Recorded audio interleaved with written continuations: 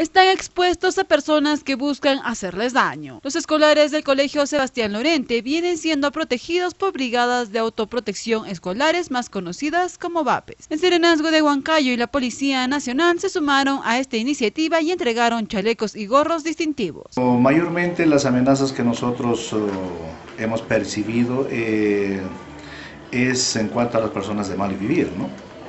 Eh, es una zona céntrica donde está rodeada de, de bares, cantinas, centros de diversión.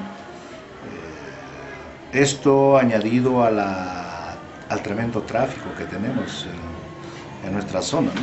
Los padres que diariamente y en diferentes turnos apoyan en la seguridad de sus hijos con los VAPES agradecieron este apoyo de la Comuna Huanca en beneficio de 1.300 alumnos.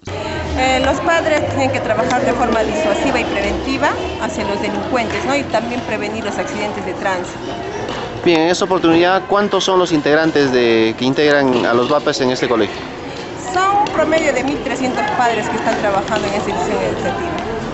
Bien, ¿cuáles serían las recomendaciones para los escolares en cuanto a su seguridad? En cuanto a su seguridad, que lo primordial que los padres hablen con, sus hijos es lo que es prevención.